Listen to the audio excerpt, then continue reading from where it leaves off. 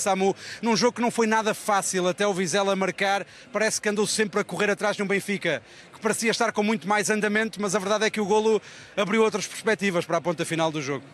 Sim, concordo. Acho que iniciámos, não iniciámos muito bem o jogo, não estávamos a conseguir eh, condicionar o Benfica, fomos o golo cedo, mas depois com alguns ajustes ao intervalo melhoramos na segunda parte e conseguimos chegar ao golo e conseguir meter o Benfica a perder um pouco de tempo aquela ponta final, eh, depois de marcar houve ali 20 minutos, é verdade que o Benfica continua a guardar muito a bola, a criar dificuldades ao Vizela na perseguição da, da posse de bola, mas quando um jogo está 2-1, um lance pode mudar tudo, não é? Sim, nós estávamos à procura desse lance, por isso é que tentámos, contudo, condicionar essa, essa posse do Benfica e que ter as nossas oportunidades. Penso que as tivemos, eh, poderíamos ter marcado, mas não aconteceu. A equipa já jogou com dois dos candidatos ao título nesta, nesta temporada, jogou em Alvalade, jogou aqui frente ao Benfica, perde sempre pela, pela margem mínima, que aliás é um pouco uma imagem de marca já deste,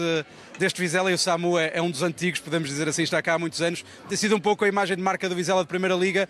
Nunca é goleado pelos candidatos ao título, mas falta qualquer coisa para conseguir a tal primeira vitória. Se calhar às vezes mais valia uma goleada e depois ter eh, mais resultados positivos, mas, mas uh, o que fica, acho que fica a imagem positiva que conseguimos, principalmente na segunda parte, deixar e, uh, e é continuar o trabalho para, para conseguir pontos contra, contra estas equipas também.